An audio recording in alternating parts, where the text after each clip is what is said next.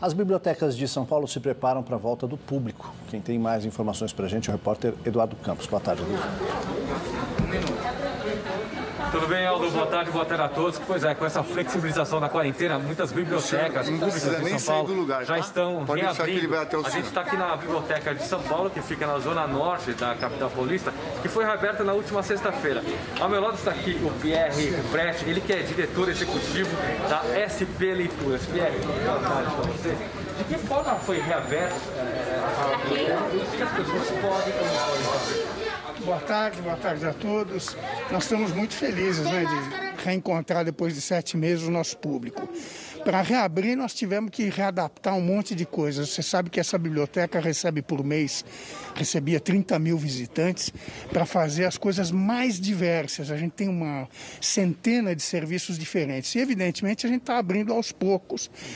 Primeiro, alguns serviços mais essenciais. A gente viu que biblioteca é necessária, as pessoas estão vindo, precisam da biblioteca. Né? Então, nós estamos fazendo com todos os cuidados, evidentemente.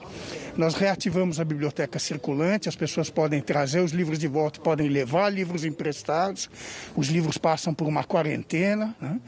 É, há um atendimento aqui na biblioteca, todo mundo que chega é atendido pelo balcão, há uma triagem. Distanciamento, média temperatura. Né? Todas as regras de, né, de distanciamento, álcool, álcool em gel disponível, medição de temperatura.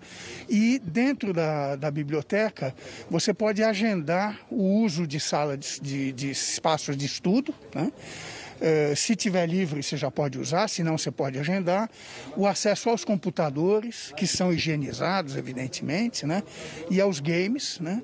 E o nosso serviço de acolhimento está funcionando também com agendamento. Né? Com todos os cuidados necessários, né? Pierre, muito obrigado pelas informações, muito obrigado e boa tarde, viu? Bom, só lembrando que a, a biblioteca aqui de São Paulo fica aberta de segunda a sexta-feira, das 11 da manhã até as, até as 3 horas da tarde, sempre com 25% da capacidade total, viu, Aldo?